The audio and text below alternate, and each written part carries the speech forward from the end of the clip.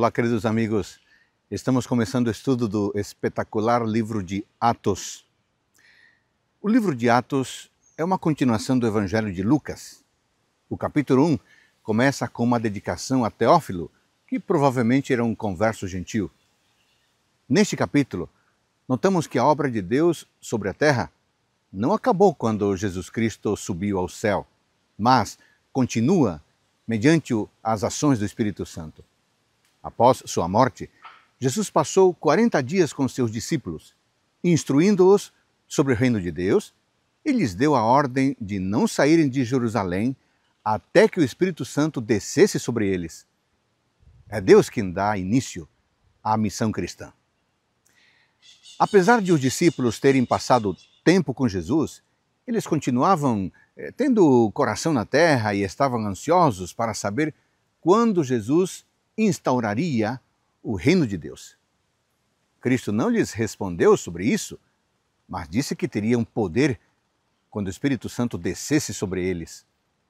Depois que recebessem o Consolador, o Espírito Santo, eles poderiam sair de Jerusalém e, dessa forma, cumprir a missão designada de serem testemunhas de Jesus ao redor do mundo.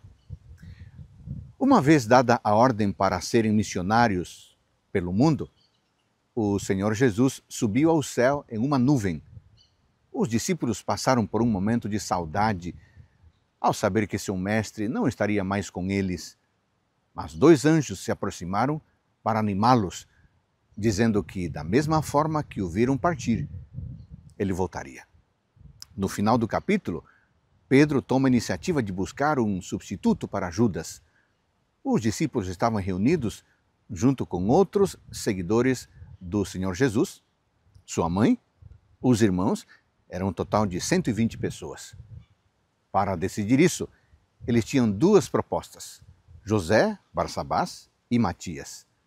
Após orar, lançaram sortes, como faziam no Antigo Testamento, para ver quem seria o escolhido a sorte caiu sobre Matias e ele foi um dos doze apóstolos.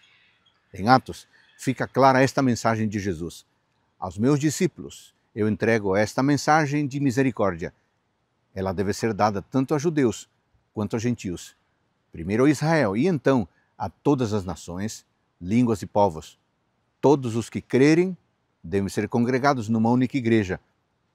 A comissão do Evangelho é a carta máquina missionária do reino de Cristo.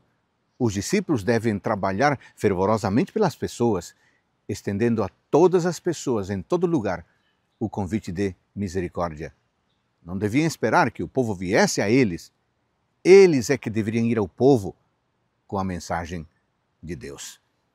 Amigos queridos, Deus não apenas prometeu o Espírito Santo aos apóstolos daquele tempo, mas também ele faz essa promessa aos cristãos que decidirem fazer hoje sua vontade para cumprir a missão de ir em busca dos não alcançados. Você pode receber o Espírito Santo se você se tornar um missionário. Que Deus abençoe você. Ótimo dia.